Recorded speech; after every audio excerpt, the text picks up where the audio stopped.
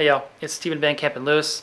It's the end of February and I'm going to do something a little different today. Normally what I like to do is talk to you about things that I'm very familiar with and sort of pass along that knowledge that I've that I've gained over the years. Um, you know, so that you can grow better orchids and, and, and kill fewer of them. Uh, but today I'm going to do something a little different. Today I'm going to do something that I, I've never done before and I probably should have. You know, I've been growing orchids for about 30 years. Uh, I'm 43, so that's the overwhelming majority of my life I've been growing orchids, but I've never virus tested. So uh, I got a, a, gentleman named William Stender reached out to me on Facebook a couple months ago and said, hey, I'm going to bring in a whole bunch of the virus test strips from Taiwan do you want to participate and and get some of your own? I said, yeah, that that sounds great. Let's do that.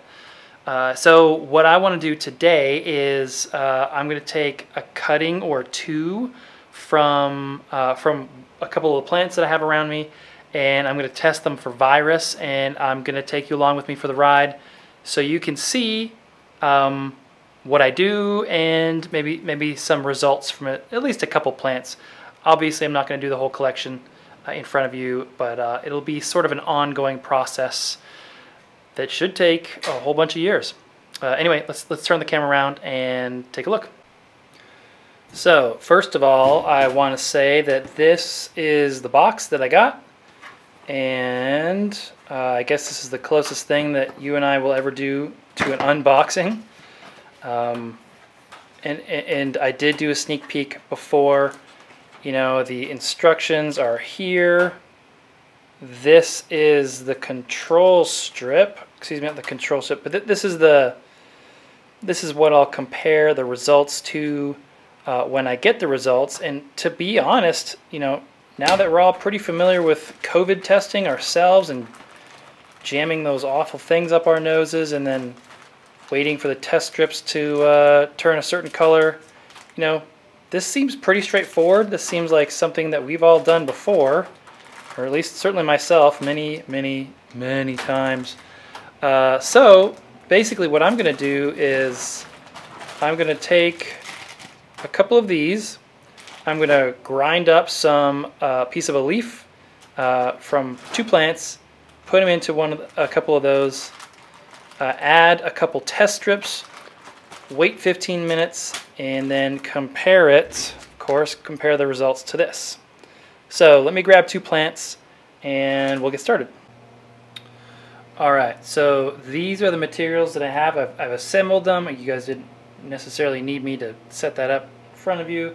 But basically there's this little flat piece of cardboard with holes in it that is going to hold my, uh, I guess these would be reagents. I don't know, uh, did I say that right? For those of you who are active in this type of field. Uh, it's been a while since I had that class in college. Um, and then these are the actual tests themselves. So these are the strips. So, well, basically what I'll do is I'll take a, a tiny piece uh, of, of plant leaf, 5 by 5 millimeters, which is about this big.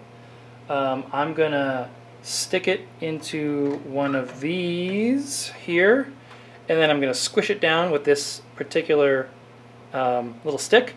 And they provide these sticks so I will use a new stick for each plant. Um, and of course a new test strip for each plant. And then as you can see here's the two sticks.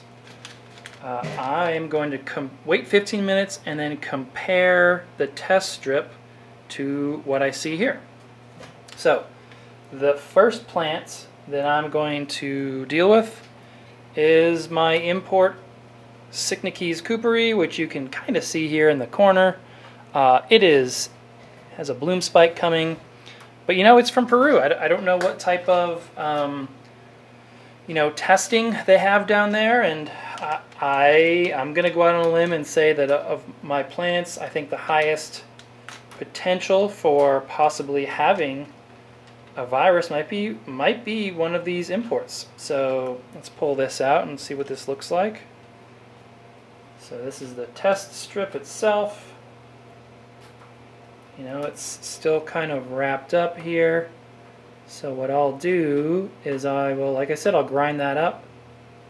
And then I'm going to stick this into the test strip, or in, into the solution. So I have my handy dandy little scissors here.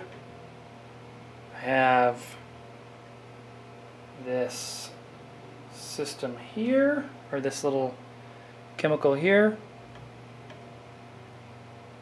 Let's grab a little teeny lift tip. Alright, doesn't need to be huge. In fact, they explicitly say that they don't want it to be huge. And like I said, this is the first time I've ever done this, so if anybody's watching and sees me doing this just making a complete fool of myself, be kind. Let me know though. I certainly am interested. You know, I jammed the leaf tip down to the bottom here. I'm not really able to grind it, so... But I do see some some pieces floating around, so I, I think I think that'll work. Uh, okay, so this is garbage, obviously, as is this. And I'm going to put this back here for a second. Alright, so I'm going to take this, and I'm going to put it in here, and then just wait. Like I said, this will be 15 minutes, just like a COVID test, and during that time I'm going to do another one. Uh, I have another plant, so I don't have a way to sterilize this, so I'm just going to use another pair of scissors and then sterilize it after. I've got a Cattleya Leo Leoloddiglossa that I, you know, has has always grown slowly for me. This is a plant that I've I've highlighted on my channel before as one that could possibly, or that most likely, uh, suffered from repotting at the wrong time. So what I'm going to do today is I'm going to test it to see if that's actually the case, or if it's actually got a virus, which would be really frustrating because it's a gorgeous, absolutely gorgeous plant. So let's get this set up again.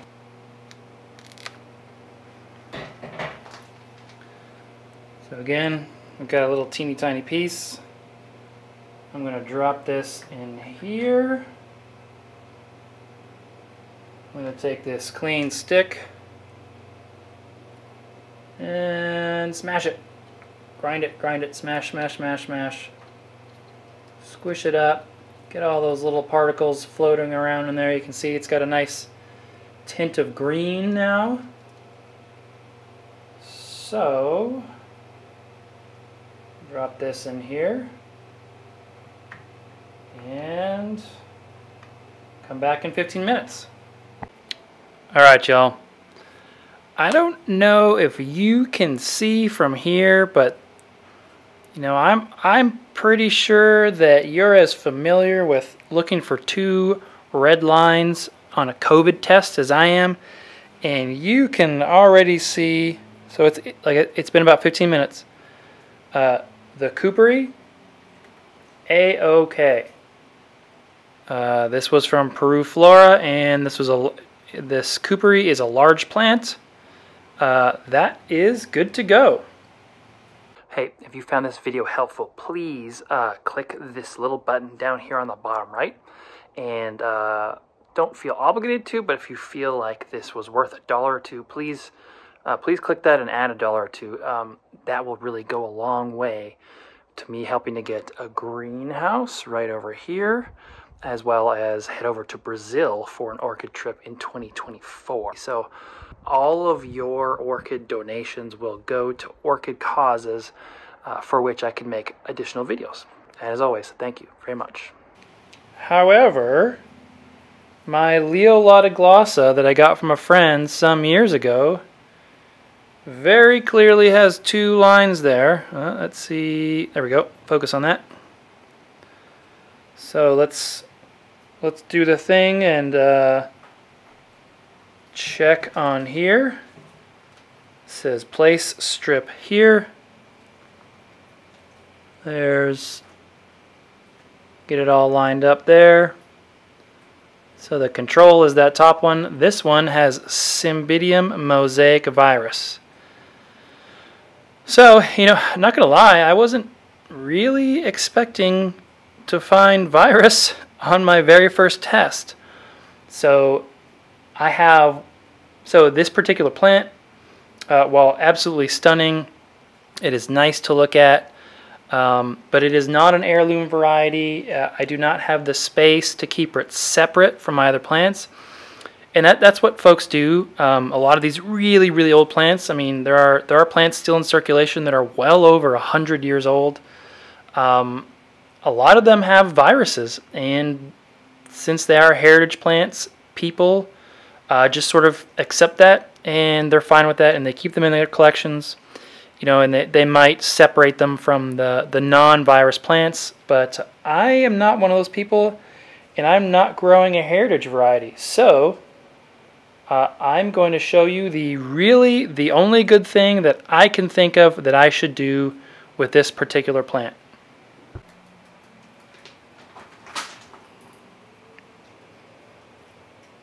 As you can see, this is a big, pretty big plant, and it's been recovering nicely since I since I repotted it a bunch of years ago and did it the timing wrong.